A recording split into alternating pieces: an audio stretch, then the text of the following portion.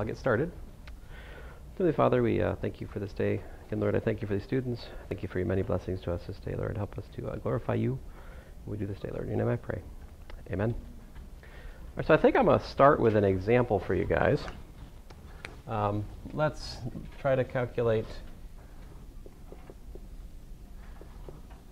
uh, find the reduced row echelon form for the following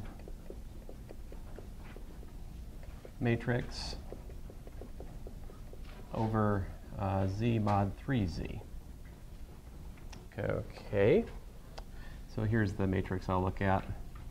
1, um, I'll tell you what, let me start out with 0, 1, 2, 1, 1, 2, 2, 2, um, ones. Okay. That should suffice. All right, so first order of business, I have to find my first pivot. We want our piv first pivot position to be in the top row. I'm allowed, the three elementary row operations to do uh, to accomplish that goal. So I'll use an operation type 1. Type 1 operation swaps. So we'll swap row 1 and row 2. I'll tell you what, let's swap row 1 and one row 3. You see, the fact that I could either swap row 1 or row 2, I mean, you can either swap 2 or 3 into the 1 spot is part of the reason that the forward pass is ambiguous. So like, before we get to the backwards pass, um, there's no telling what's going to happen. Let's see here. 1, 2, that's not entirely true. The pivot columns aren't up for grabs. The pivot columns will be clear after we're done with the forward pass. Um, I need to stop talking and start writing. 0, 2, 1. All right, so my first pivot position is now where it needs to be. First pivot right here. Now I want to clear out under the first pivot position. So to do that, I subtract, I do row 2 minus row 1. Right? That gives me, see here, row 1 and row 3 don't change. Row 3, row 2 is modified. What's it modified to? It's modified to 0,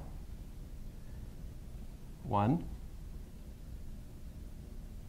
1, 1. All right, now we're done with the first pivot position. In my brother's handout, he'd say, or the part of the notes I stole from him, he'd say, now we ignore row 1. We move on and look for our next pivot.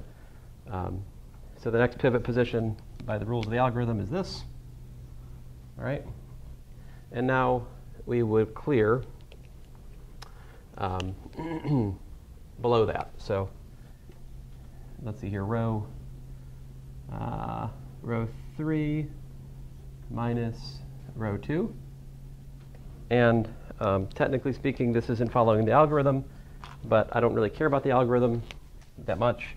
So I'm going to do also row 1 minus row 2. The reason I'm going to do that is because it gets us to where we want to go faster. So 1, 0, 0, 0, 0, 1, 1, 1, and 0, 0, 1, 0.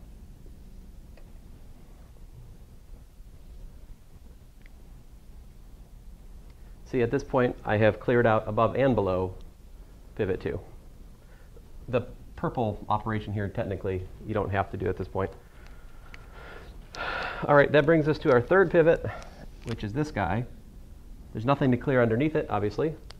Um, but we can clear above it by doing what? R2 minus R3, right? As luck would have it, I didn't have to do any row scaling or any division, so I have uh, failed in showing you what I wanted to with this example. I was hoping that we would have something like 2 so then we would have to multiply by um, 2 again to get 1 back, right? If I was just working in R. Yeah, that's the thing is I guess I could be working in Z mod 3Z, I could be working in Z mod 7Z, I could be working in Z mod PZ for any, it's kind of a nice meta example, but anyway. Um, getting to the point here. Yeah, bless you. Uh, 0,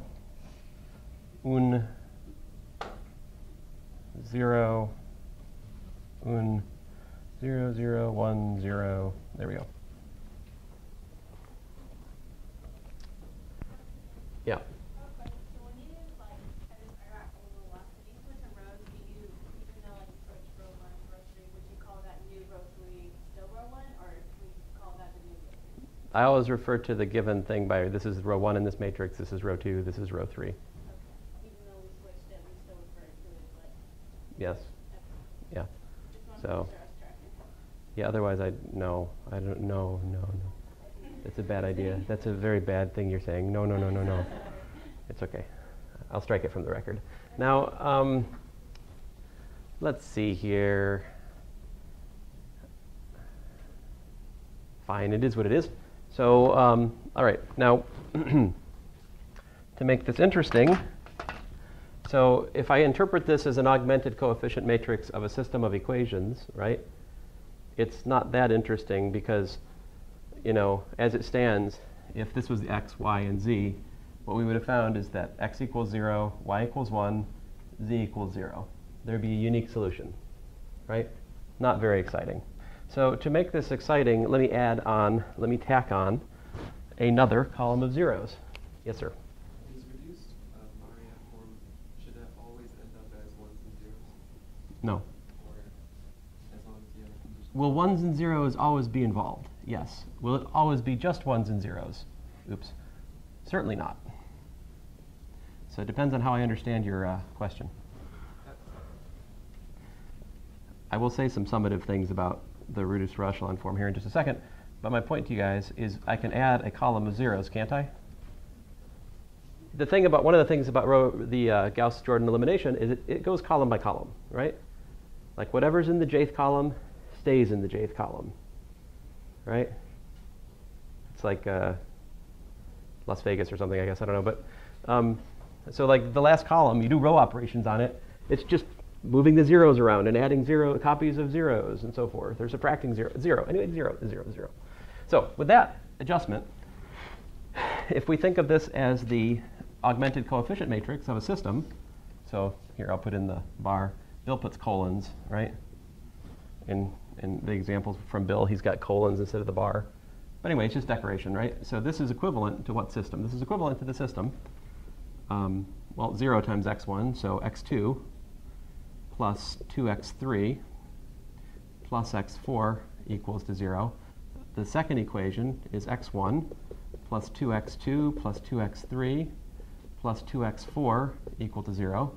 The third equation, x1 plus x2 plus x3 plus x4 equal to 0. Here we have three equations, right, in four unknowns. Right? Now, it's not at all obvious what the solution set is from those, right? You probably can't tell me what the solution is. I can tell you one solution, zero, right? Zero is always a solution of a homogeneous problem. This is a homogeneous problem. But this over here gives us a much more accurate statement. I mean, a more um, sort of transparent account of what's going on. x1 equals to 0. This says that x, x2 plus x4 is equal to 0. This one says x3 is equal to 0.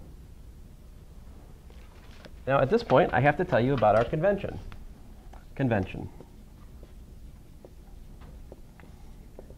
We use non-pivot variables as parameters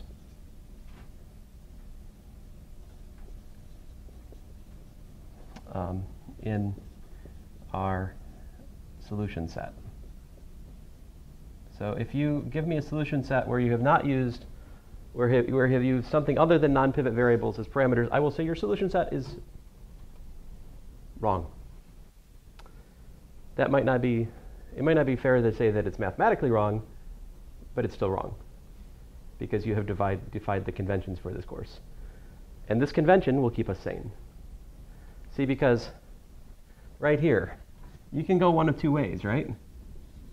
You can either say x2 equals to minus x4, or you could say x4 equals to minus x2.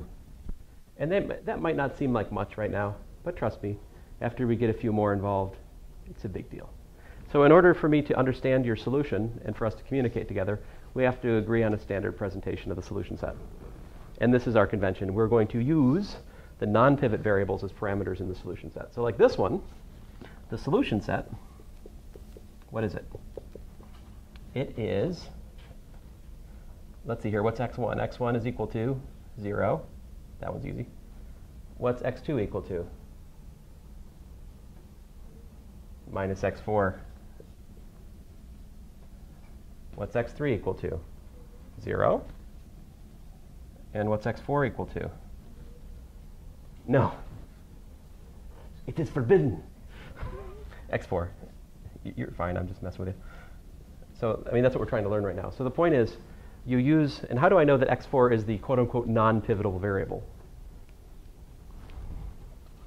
It's kind of, these are the pivot columns, right? Right? This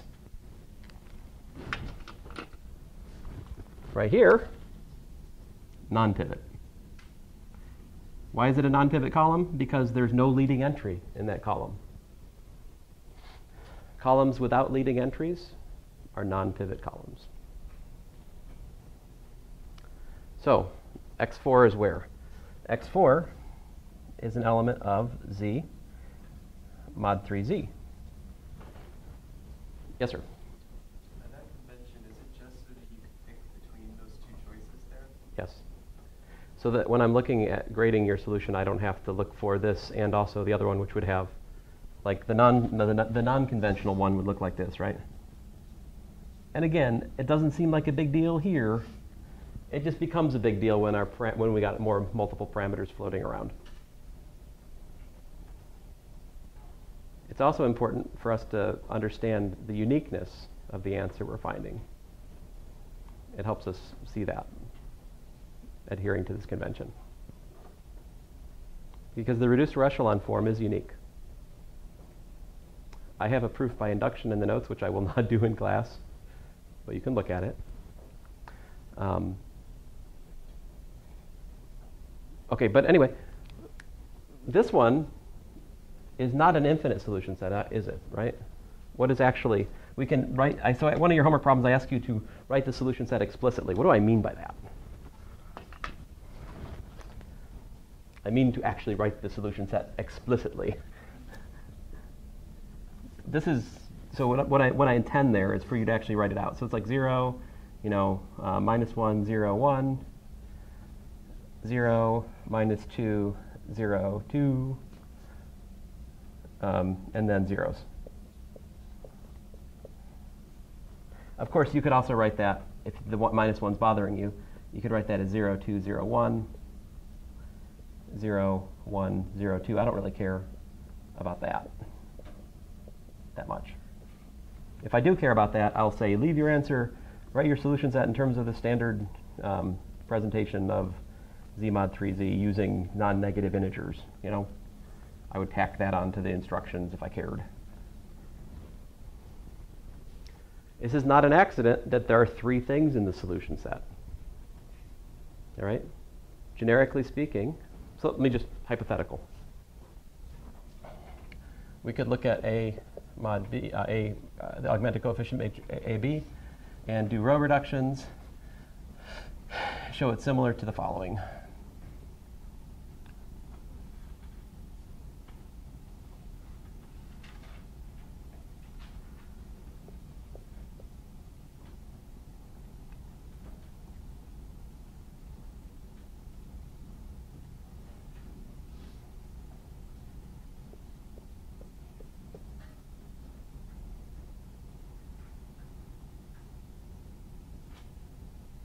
Okay?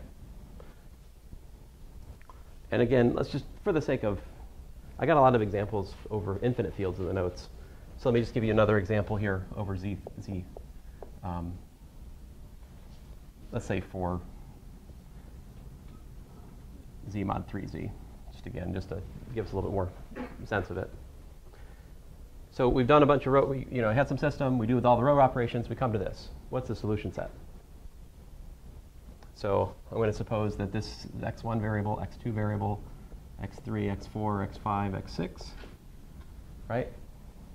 So the first equation is x1 plus 2x2 plus x3 equals to 2.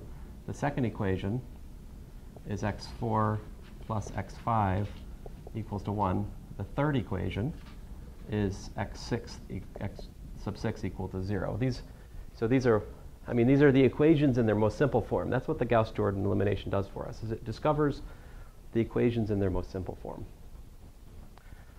Um, so then our convention then is to write the pivot variables in terms of the non-pivot variables. So the pivot variables become dependent on the non-pivotable, non-pivot free variables. So like x1 here is equal to minus 2x2 um, minus x3, of course plus 2. I forgot about the 2, sorry about that. And x2, excuse me, x4 is equal to 1 minus x5. This one tells me x, well, x6 is 0, right?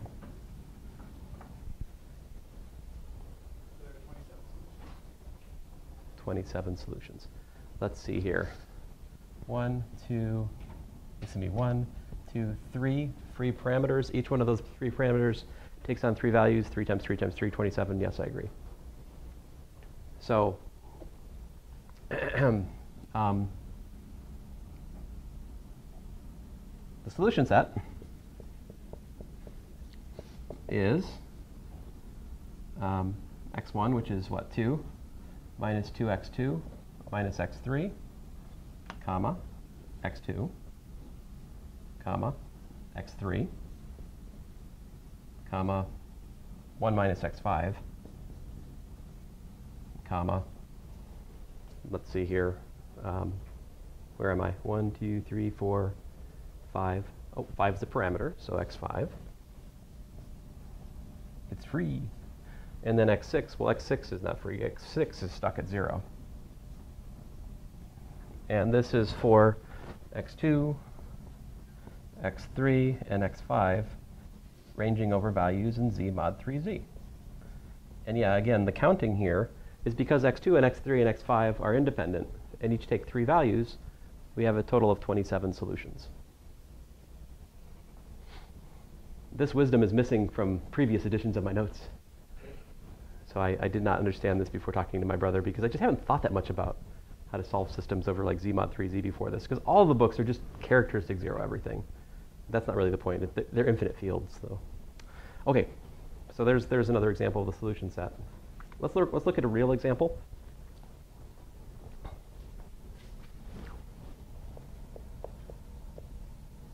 We could have A, um, B, and it could be similar to something like. Any questions before I go on to my next example?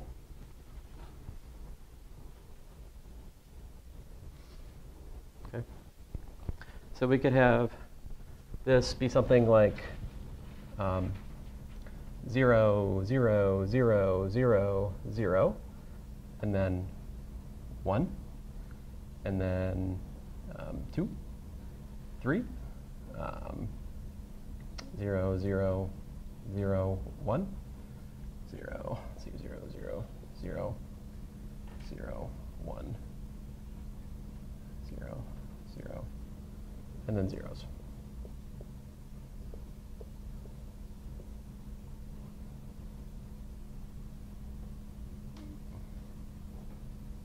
I'll do uh, four, five, six, seven, eight in the last column.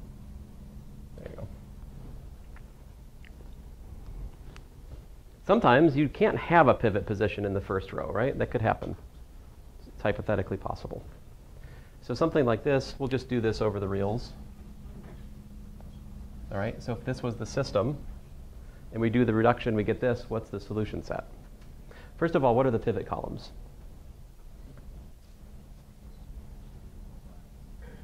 This is a pivot column? Yeah, two, five, and six. So I, I would like to make a comment for you, like generically speaking, what's a pivot column look like? generically speaking, a pivot column looks like this. It's zeros above. There's a 1 somewhere. Zeros below, possibly, right? And then there's zeros this way as well, right? So like the pivot column, after the Gauss-Jordan elimination is done, there's a 1 in the pivot position. There's zeros above and below it, and there's zeros that way, right? There's zeros to the left of it, but anything goes for the most part without further information over here. You could have all kinds of stuff there. Now, there is one rule, which is that if you look to the right of a pivot position and you get to another pivot column, those have to be zeros. That's not up for grabs, right? These have to be zeros because they're above these pivots. But that's the general pattern we're after. It turns out doing the type 1, type 2, type 3 operations produces a unique matrix in this way, and this, this is what makes the matrix a so-called reduced row echelon form. You also have to have all the zero rows at the bottom, right? And so forth. Oh, man. Well, the solution set here, I'm working too hard. It's what? Yeah, solution set empty. Oops. So we use the empty set for this. Now, let me make it more interesting. Let's zero out that 7 and 8. Because otherwise that would be, should be written wrong, so that should be a one. Let's, yeah, let's put a 0. Let's change it to zeros. What's the solution set if I put in zeros there?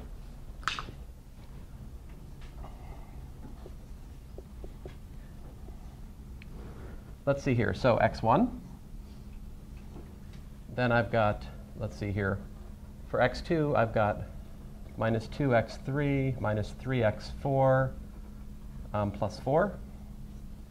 1, 2, x3, x4, x5, where's 5? Uh, 1, 2, 3, 4, 5. x5, we get 5. it's funny.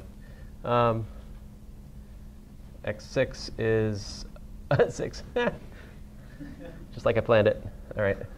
Um, such that x1, x3, x4 are real numbers. The cardinality of the solution set here is infinite, right? Yeah. Um, is there anything related to, uh, I mean, if the field is finite, like Z mod three, uh, is this number of solutions, is anything related to the, no, the, The characteristic of the, the size of the field. the size of the field, Yeah. uh, columns, Okay, so we, you, you want me to tell you the general theorem about how many solutions there are versus how many pivot columns there are. I'm about ready to say that, but I was trying to build up a few examples so people will understand it when I say it. But uh, if, if we're working over an infinite field, right, and there's a free parameter in the solution, which means that there exists a non-pivot column and it's a consistent. I mean, it has to be consistent, right? Seven and eight, game over, no solutions, because those equations are zero equals one, basically, right? But supposing the system's consistent, if it's a consistent system and it has a free parameter, if you're working over an infinite field, you got infinitely many solutions. Um, on the other hand, if we're working over a finite field of, of say, size p, then it's the uh, number of free parameters, it's p to the number of free parameters. Like over there, it was 3 to the 3. Quirk of being 3 to the 3. Um, like this, if I cross out, I mean, here, forget R. Oh, I was trying to do a different color. Um, replace that with uh, Z mod 11Z, right? All these numbers are good in there, right? So we could look at it in terms of that. Then instead of these being from the reals, we'd replace that with Z mod 11Z, of which there are 11 things. So then the solution set, how many things would there be? The, the size of the solution set, the cardinality of it, would just be 11 to the fourth. Because there are, oh, I can't count, three. Right? So whatever 121 times 11 is. So, don't know 11 cubed off the top of my head. Anyway. Okay, so I think you guys start to maybe see the theorem here. What's the theorem? If um, A, V equals to B has um, reduced row echelon form um, A, B with K pivot columns. Um, such that um, none, such that no pivot is where?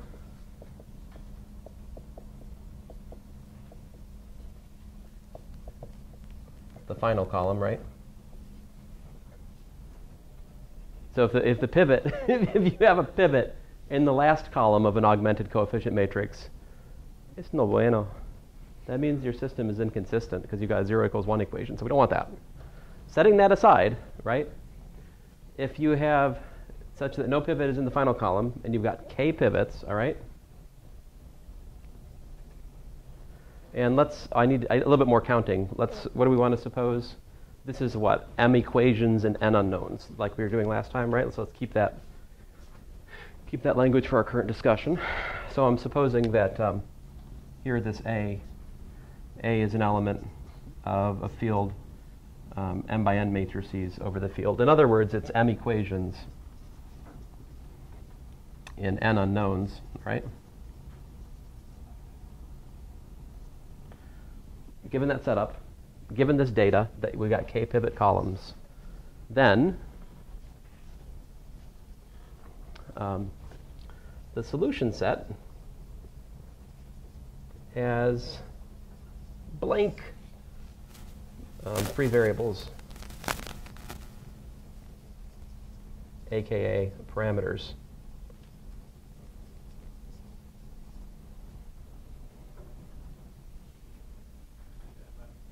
and minus k. Right, and we can say more if the size of the field is equal to infinity, that implies the solution set is infinite. On the other hand, if the size, oh man, I forgot to say something in Calc 3 this morning. Two of you are here. I was going to do this. Two vectors determine a plane. Two lines do not. See? There's no plane between these lines. That contains both these lines. Sorry. It would have been better this morning. Anyway, so solution set is infinite. And on the other hand, apparently I don't think what I'm writing that's interesting because I just my mind just skipped. If the if the size of f is p, then that says that the solution set has what? p to the yeah p to the n minus k solutions has p to the minus a solutions.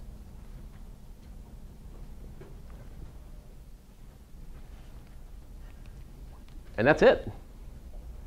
Yeah. Is the idea of the solution being infinite, does that suppose that n doesn't equal k? Because in that case, you would have one solution. Oh, interesting. N equals K, then the, p to the zero is what? If- I- fine. I will not be accused of not giving enough row reductions today. I'm going to do another row reduction for us. okay? Check this out. So we've got x plus y plus z equals to 1, 2x plus 2y plus 2z equals to 2, 3x plus 3y plus 3z equals to 3. All right? Augmented coefficient matrix. 1, 1, 1, 1, 2, 2, 2, 2, 3, 3, 3, 3. I will do two row reductions. Row 2 minus 2 row 1. And I will also do, free of charge, row 3 minus 3 row 1, which gives me 0, 0, 0, 0. And of course, the second one is 0, 0, 0, 0. And of course, the first one is what it was. That's a great question because this is another example which we should look at. This is the reduced row echelon form. of the augmented coefficient matrix, and from it I can read the solution, right? So what's the solution here? Keep it real.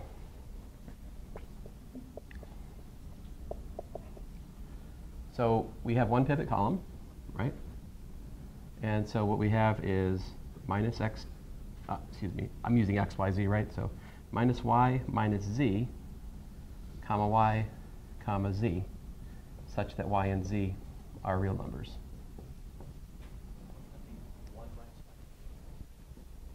Yes.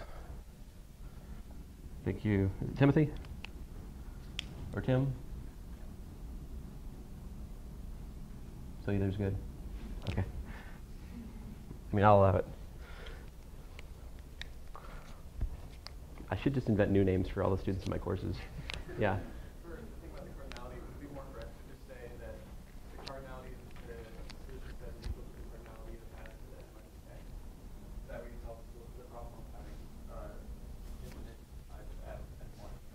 Yeah, but then people will ask me what infinity to the n minus k means, and I don't want to talk about that. Well, but no, you don't say the cardinality. Infinity. You say, you say you take f to the n minus k. So it's a tuple, it's a tuple, and then you Well, I mean, I don't disagree that we could rewrite this in the finite case as the cardinality, sorry, one bar, I guess, um, the cardinality of f to the n minus k. I mean, I, I totally agree with you there. No, I put it, put it inside the, uh, the not the cardinality. Oh, oh, oh, I see what you're saying. You're saying it's the, oh, that's actually a very interesting comment. So you're saying it's the, like, you're thinking of this, of course, as the, um, the Cartesian product i equals 1 to n minus k of f, so the n, n minus k fold Cartesian product. Ah, interesting, yes. You could look at it that way. Then that would naturally include the infinite case as well. Yeah, nice. So anyway, my, my point to you was that three equations, three unknowns, infinitely many solutions. I guess what I was more asking was if we actually had three pivot columns. In, like, say you could try, basically, if you had a situation where the. Oh, if you have n variables and n pivot columns, then yeah, it's a unique solution. Right. Or no solutions. I'm, I'm saying in that case. Oh, wait a minute. Or is there, excuse me, I take that back. If you have n's, if you have n equations and n unknowns, and you have n pivot columns, it's consistent. Because you can't have, like your fourth column, I mean, you can't have your n plus one column also be a pivot. You've already used up all your pivots. Right. Right, so in that situation, if you have a unique solution, I guess my comment was solution set would be infinite, even though you could be doing that on an infinite field. Because there'd just be one solution. Right, that's, that's what. It's a unique solution, Oh. But it's under the infinite. Oh, well, yes, and I, so here's why I don't like your comment, is because my formula becomes p to the 0 when n equals to k. p to the 0 we know is 1. But that's only for the finite purpose. Yeah, right. No, well, actually that works just as well. I mean, this, this is also true for the infinite case, for what it's worth, but Well, maybe you said. I'm sorry. Um, so you, guys have confused me now. In the case that the field is infinite, if we have the same number of pivots as we have variables, the solution's unique. Okay.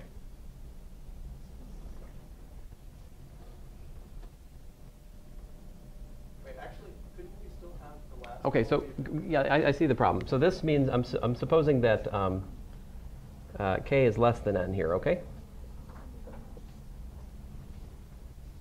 I see your problem. So let me just remove this and that and write once more. If the car, if the size of the field is p, the solution set has p to the k um, b to the k solutions. In the case of an infinite field, we either have an infinite solution set if we have less than n pivot columns, or we have one solution if n equals to k. Okay, now we all understand. Done. Ah.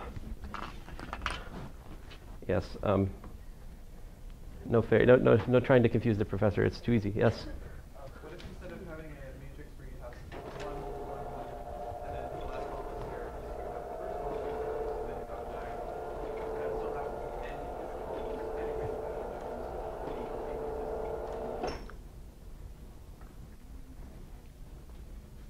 But the precondition here is that no pivot is in the final column. So ah. that's the world in which we're living. But your comment is, of course, the source of a trick question on the test.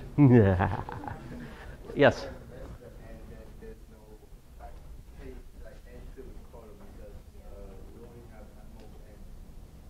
What? Like uh, n less than n. anything. That is, for example, like three row and six column, you only have a three pivot column. Right. It's not really n. Like when you I think he's saying K minus K means that's the end of Y equals percent.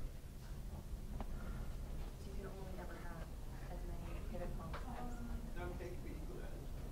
Well, yeah, but No, but then K you less, keep K that has to be N. less than N. you can uh, larger than n then. The last column also doesn't represent a variable. Exactly. So, And we've already allowed for like N. What's your question again? I mean, like the pivot column is just like the minimum of n and n. Uh, just, it's just uh, like uh, it's just like three rows and six columns, then you only have three pivot columns at the most, your question again?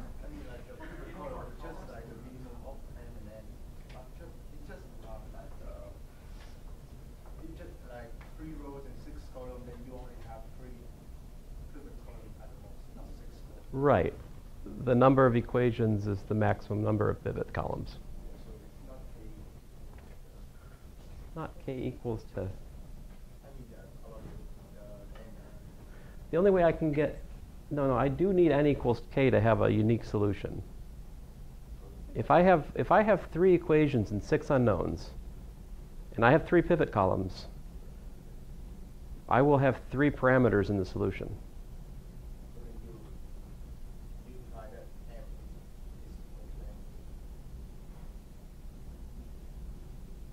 I'm not talking about m here. There's no m in any of this. It's all about n, as in nanu nanu. It's the number of pivot columns, not the number of equations that matters. I mean, anyway, let's go on. What, I think your question. Hopefully, I haven't actually said something incorrect there. I'm sure you'll let me know if uh, this is the case. But um, so I have many more examples here, guys. Um, so this one here, for example, just to get us back on track here, three equations, three unknowns, three pivot columns, unique solution. So I was trying to get across in my final correction to the infinite field case, okay? Uh, example two, I mean, excuse me, example three. Um, oh, by the way, we figured out geometrically what was going on the other day. It was those planes weren't parallel. Um, you could have geometrically, like we had an inconsistent system the other day in here, right? And so the way to think about it, it's possible to have three planes that don't meet, right? They could, they don't have to all be parallel, but they could look like this, right? If they're coming out at you, there's three planes, they don't intersect at a point and yet they're not parallel. That's the thing. Definitely parallel planes don't have points of intersection. That's true still. It's just that there's more things that can happen in three dimensions than just parallel. You also got this. And don't even ask me about four dimensions. So, anyway, so um, here is three equations in two unknowns, the overdetermined system. And this one, we have just one pivot column, and uh-oh, no solutions. Um, here's three equations in three unknowns, and it turns out it's actually two equations in three unknowns in disguise. Right? That's what this means, is like when you do this, it looks like you have three equations, but no, not really. It's and if you look at my examples, you can usually figure out what I did. I took the first equation and subtracted it from the second, didn't I? See it? Or no, that's not what I did. What did I do? Huh. I don't know. Anyway, as you can see, the solution set here has what? It has a free parameter. We use y because y is the non-pivot variable, and there's your solution set. Geometrically, what this is, is you got these three planes. They're actually two planes, I think. Well, I don't know. Let me stop talking about geome- geometry. Doesn't really matter much to us at the moment. And it's distracting. I have other things to say today. Question? Um, so anyway, there's more examples for you to look at. Let me just go on. So this is the theorem that I basically just stated on the board. Either have empty solution set, just one thing, or infinite solution set parameterized by n minus k in the case of an infinite field. The proof is down here. The proof is really just Gauss-Jordan elimination's uniqueness paired with how does the structure of the solution set paired to the existence of pivot columns. It's nothing more than just generalizing the examples we've done for an arbitrary pattern, just that. And the finite field case is right here. Either you have an empty solution set or you have a solution set with p to the n minus k solutions. In the case n equals to k, you get one solution. Otherwise, you get some power of the size of the field over which you're working. All right, that brings us to elementary matrices. So I wanted to use the projector for this because it's a lot of writing and it's better if we can just like look at it and see it. Um, so this, this, is, this is really a shocking idea, I think. Um, for, for me, it's very surprising what elementary matrices are. And it's surprising even more that they actually are useful to prove things. So here's basically the idea. Each one of the elementary row operations, all right, can be implemented by left multiplication of a particular matrix. So you want to do row swaps, you can multiply by the row swap matrix, it'll swap the rows. If you want to do, uh, you know, rescaling by a constant, there's a particular matrix, you can multiply it by left, and it does that. And likewise for like adding the type 3 operation. Weirder still, the way to get these matrices that accomplish that goal is just to do the same thing to the identity matrix. So like if I want to swap, here, I guess I'll, ah, before I get into, now Bill, Bill this, this section here, um, the thing I didn't know before this semester, and I've learned from Bill helping me with my notes, is that you can also write the elementary matrices in terms of the uh, stuff I gave to you in the all your base are belong to us section, which is a reference to a, previous internet fad, which you may or may not be part of or aware of, which is fine. Um, but just before I dive into Bill's general jibber jabber, um, let's see here. Let's try it out in this one. Here we did row one, swap row three. I claim you, it's like it's like a contagion. Do the same thing to the identity matrix, and then it'll make it make the. So let's see. If I swap or swap, swap. I mean swap. It's not even a word. So swap rows one and three of the identity matrix. What do you get?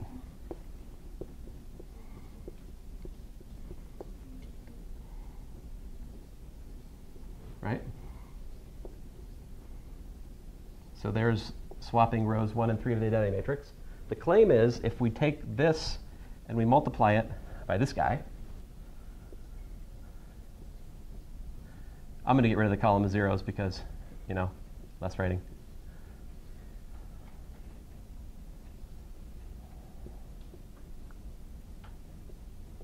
What do we get? Try it out. One. One. Zero. Second column. One. Two. One. One. Two. Two.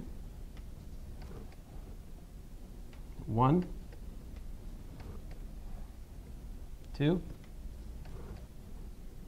One.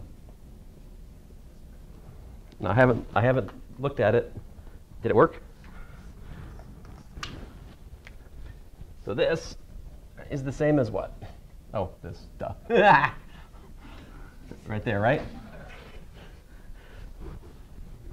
So we can accomplish row operations by multiplying on the left by the identity matrix with the same thing done to it.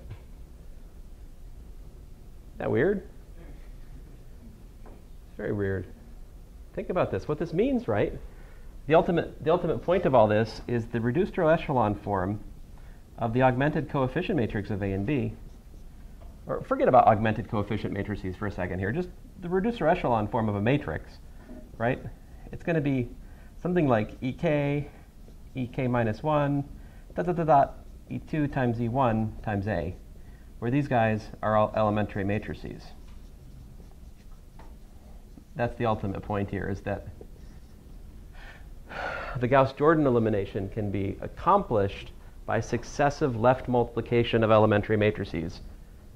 And you need as many of them as you have row operations, and that, that does it. That gives us a formula for the reduced row echelon form of the matrix as it's related to the original matrix that's in M. Was that your question? Is it useful to like stack all those E's together? It is.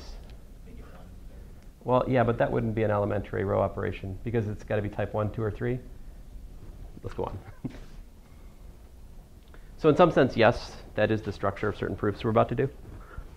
Um, so, this stuff is just a, this is like a review of what we already know about. Can you turn off the lights in the front? I was, it'll, yeah. So, you guys, you know about the E12 or the E, you know, the EIJ matrix, right? And the take-home message here this is really a review of the all your base are belong to us section. I'm sure many of you need to read this and think about it, so I'll let you do that. Um, it also involves the, as Bill calls it, the column by column multiplication version of matrix. Mul- I call this the concatenation proposition. He calls it column by column multiplication. I think I like his better. Um, or he calls this row by row multiplication. That was the corollary to the concatenation proposition we saw before. Anyway, long story short, A times Eij, what is it? It is the matrix which has the ith row of A put into the jth column, and everything else is zeroed out. All right? This, by the way, is the secret reason that I wanted you to work the last problem in mission one, is it prepared you for this conversation we're having right now. Of course, if you haven't done it, well, too bad. But I did post the solution earlier today, so you can look at it. On the other hand, like here, so E21 does what? It takes the second column and it puts it over into the first column and it zeroes everything else out. So this is this very, very nice uh, technology, let's say. And so here's how to construct the row swap matrix for an arbitrary row swap. Bill points out that if you take the identity matrix and you subtract EII from it, and then subtract EJJ from it, and then add EIJ, and then add G- EJI, that's a row swap. Now, I think if I just tell you that, it's not obvious why, but let's read, let's read about it. So, what's EII? Aw, come on. Did I? Oh, I just told you about the column swapping, but we needed the row swapping thing. I'm an idiot. What's this do? Uh, I told you about columns. If you multiply by EII or EIJ on the other side of the matrix on the left, what it does is it takes, um, if I remember right, yeah, EI, here it is. EIJ times A provides the jth row of A put in the ith column. I mean, ith row. It takes the jth row and moves it into the ith row and zeroes everything else out. So when you do EIIA, what that does is it takes row i of A, leaves it where it is, and zeroes everything else out. Um, so this is a way basically of putting row i of A in a matrix where everything else is zero, and same size as A. So if we take, if we take, you know, um, so think about multiplying this by E by A. If we take A times this, we get like A from that. We get A without the ith row here. We get, excuse me, we get zeros in just the ith row. We get zeros in just the jth row. So like the first three things basically take and leave you the matrix A with the rows I and J deleted from it, zeros in, in, in the place. And then putting these here just puts back row I in the jth row and vice versa. So it's, a- it's a row swap in totality. Yeah. So I guess the difference between doing that versus, because we had the multiplication by the standard basis, which still gave us the one row, but it was just that row, it wasn't everything else. Right. So doing that leaves us the rest of it, so we can still do, like, addition, is that the kind of idea there?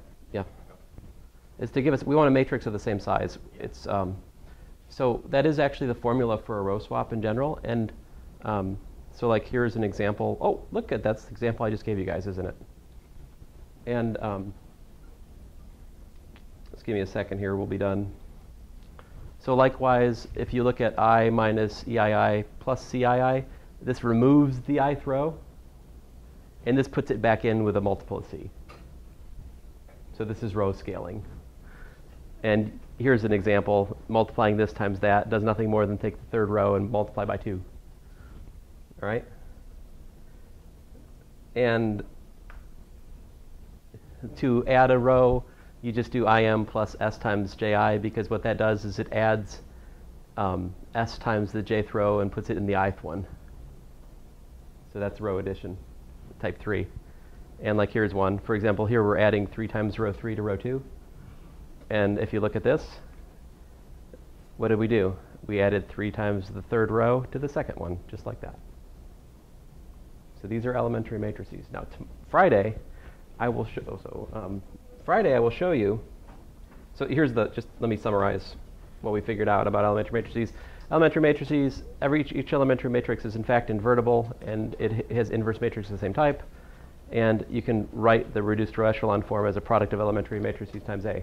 These things will be critical for us understanding the structure of inverse matrices and how to really understand when a matrix is invertible and when it isn't. It also will allow us to finally give up on proving left and right inverses for matrices.